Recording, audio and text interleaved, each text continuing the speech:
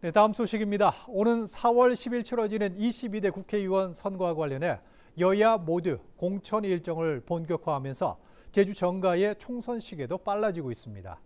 네, 더불어민주당은 제주시 갑선거구에서 국민의힘은 제주시 갑과 서귀포시 선거구에서 치열한 경선을 예고하고 있습니다. 보도에 헌진 기자입니다.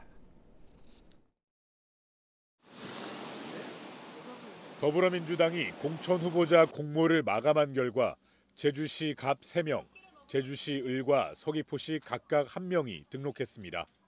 제주시 을과 서귀포 선거구의 경우 김한규 의원과 위성곤 의원의 단수 공천이 사실상 확정됐습니다. 반면 제주시 갑 선거구에서는 현역인 송재호 의원에 맞서 문대림 전 JDC 이사장과 문윤택 전 제주국제대 교수 등 3명이 출사표를 낸 가운데 벌써부터 치열한 경쟁을 펼치고 있습니다. 연일 본선 못지않은 민감한 사안을 꺼내들며 예비 후보 간 공방을 벌이고 있습니다.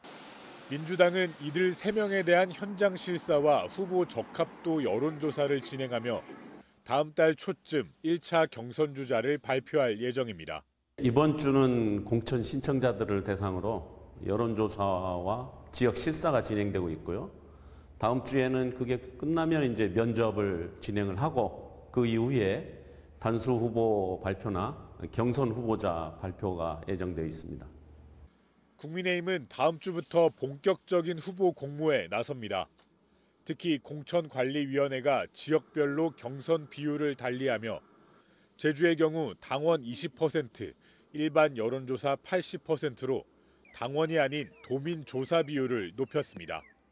제주시 갑에서는 김영진 전 제주도 관광협회장과 장동훈 전 제주도의원이 당내 경선을 통해 본선 진출자를 가릴 전망입니다.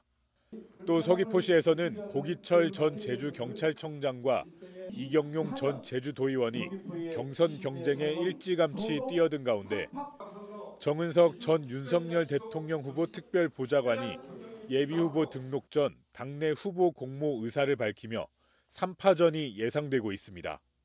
제주시 을선거구의 경우 김승욱 전 제주시 을 당협위원장의 단독 공모가 예상되면서 경합 없이 본선에 진출할 것으로 보입니다. 총선 후보자 공천 신청 공고를 하고 있고 다음 주부터는 29일부터는 공천 신청 접수가 이루어질 예정입니다. 그리고 그 이후에 공관위에서 서류 심사 및 면접이 있을 예정입니다. 제22대 총선을 70여일 앞두고 여야의 공천 작업이 본격화되면서 각 정당을 대표하는 최종 주자가 누가 될지 관심을 모으고 있습니다. KCTV 뉴스 허은진입니다.